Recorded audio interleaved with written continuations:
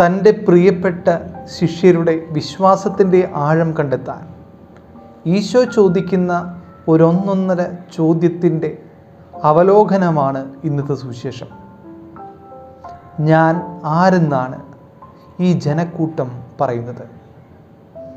ഈശോയുടെ കൂടെ നടക്കാത്ത ഈശോയുടെ കൂടെ ആയിരിക്കാത്ത അവിടെയും ഇവിടെയും ഒക്കെ ഈശോയുടെ രോഗശാന്തിയും അത്ഭുത പ്രവർത്തനങ്ങളും മാത്രം കണ്ട് നടന്ന ഈ ജനക്കൂട്ടം എന്നെക്കുറിച്ച് എന്താണ് പറയുന്നത്?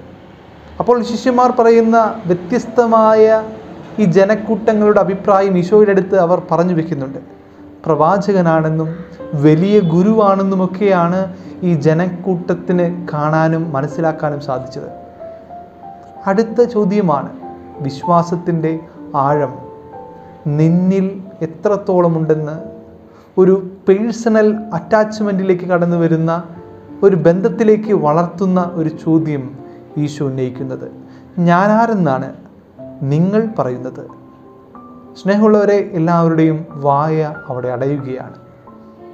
പത്രോസ് ലീഹ മാത്രമാണ് അതിനുള്ള ഉത്തരം പരിശുദ്ധാത്മാവിനാൽ നിറഞ്ഞുകൊണ്ട് അവിടെ ഉന്നയിക്കുന്നത്. നീ ജീവിക്കുന്ന ദൈവത്തിന്റെ പുത്രനായ മിശിഹായാണെന്ന്. സ്നേഹമുള്ളവർ ഈ ചോദ്യവും ഓരോ ദിവസവും ദൈവം നമ്മോട് ചോദിക്കുന്നുണ്ട്. ഞാൻ ആരെന്നാണ് നീ പറയുന്നത്?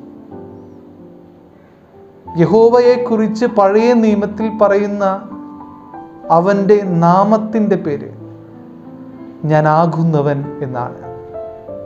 അവിടെയാണ് ഈ ചോദ്യത്തിന്റെ ബന്ധം കെടുക്കുന്നത്. ഞാൻ ആരെന്നാണ് നീ പറയുന്നത്? സ്നേഹമുള്ളവരെ കണ്ണുകൾ തുറക്കണം.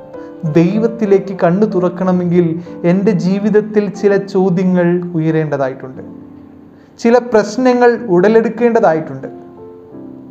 അവിടെയാണ് ഞാൻ ദൈവത്തെ കണ്ടെത്തുന്നത്. നമുക്ക് ആത്മാർത്ഥമായിട്ട് ഒന്ന് കണ്ണു തുറക്കാം.